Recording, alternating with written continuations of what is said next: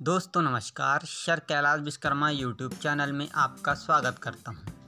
आज एक नया आदेश जारी हुआ है, उस पर हम बात करेंगे उच्च माध्यमिक शिक्षक और माध्यमिक शिक्षक के अभ्यर्थियों के मोबाइल नंबर और ईमेल अपडेट करने के संबंध में आया है दोस्तों तो पूरी जानकारी क्या है, हम आपको बता रहे हैं कि उच्च माध्यमिक शिक्षक एवं माध्यमिक शिक्षक की नियोजन जो प्रक्रिया के अंतर्गत ऐसे अभ्यर्थी जिनके पीवी द्वारा पात्रता परीक्षा 2018 के आवेदन पत्र में उल्लेखित मोबाइल नंबर एवं ईमेल परिवर्तित हो गए हैं, उनके मोबाइल नंबर एवं ईमेल आईडी अपडेट करने की सुविधा आपके जी टू जी लॉगिन पर उपलब्ध कराई जा रही है। दोस्तों, यहाँ पर समस्त जिला शिक्षा अधिकारी को यह आदेशित किया गया है, पत्र लिखा गया है।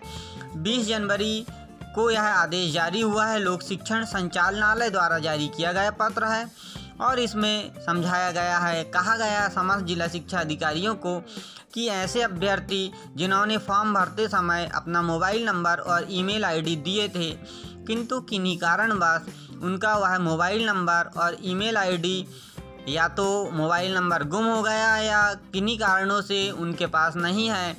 इसी प्रकार ईमेल आईडी में भी परिवर्तन हो गया किन्हीं कारणों से।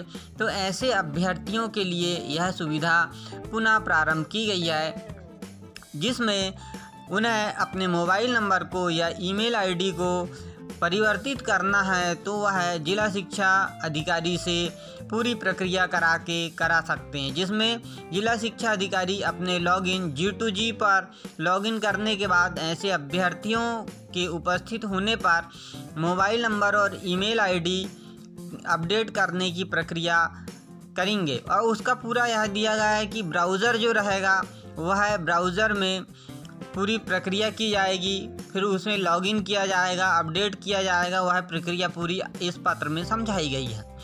और समझाने के बाद में उस अपडेट वाले की पूरी जानकारी, अर्थात जो अभ्यर्थी अपडेट कराएगा, उसकी पूरी प्रोफ़ाइल से यह सुनिश्चित कर दिया, लिया जाए कि वास्तविक अभ्यर्थी ही उपस्थित हुआ है। ऐसे जितने अभ्यर्थी उपस्थित होते हैं, एक पंजी में उनका अभिलेख संधारित करना होगा। यह आदेश संचालक लोक शिक्षण मध्य प्रदेश से जारी हुआ है। दोस्तों नई नई जानकारी के लिए आप हमसे जुड़ते रहें।